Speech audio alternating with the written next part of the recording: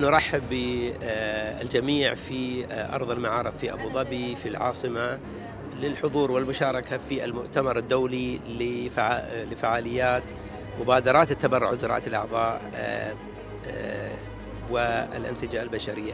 هذا المؤتمر يقام في العاصمة أبو ظبي بمشاركة أكثر من 7000 مشارك سواء حضوريا أو افتراضيا من مشاركين من 59 دولة. المؤتمر فيه شق للخبراء الفنيين بمشاركة منظمة الصحة العالمية وفي شق للجمهور للتعريف بالبرنامج في عرض لقصص النجاح فيديوهات من داخل وخارج الدولة. في عندنا تاريخ التبرع متى أول السنوات اللي بدأت فيها الزراعات المختلفة والإحصائيات الحديثة ونتائج دول مختلفة كلها تنعرض للجمهور.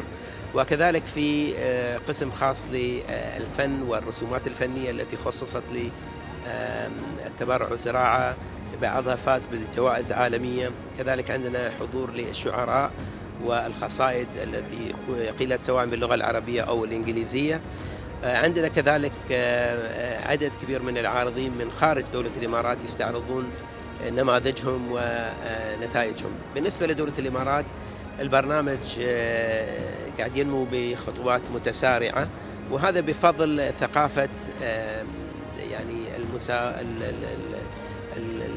يعني التضحية والمساواة والتعايش اللي دولة الإمارات يعني هذا الإمارات العربية المتحدة تحتضن ناس من 200 جنسية ولما إحنا حللنا المتبرعين أو المتلقين بين الأحياء والمتبرعين بعد الوفاة حصلنا إلى 48 جنسية هم شاركوا في التبرع أو في استفادة من التبرع فهذا البرنامج الحين قاعد ينطلق إلى مرحلة جديدة مرحلة يعني التعريف به بشكل أكبر بين الجمهور. النقطة الرئيسية أن على مستوى العالم في كل الدول في نقص بالنسبة للأعضاء فبالتالي الهدف الرئيسي هو تعرف على سبل الوقاية وفي المعرض بيكون عرض الكثير من الكتب المجانية والمعلومات عن كيفية تجنب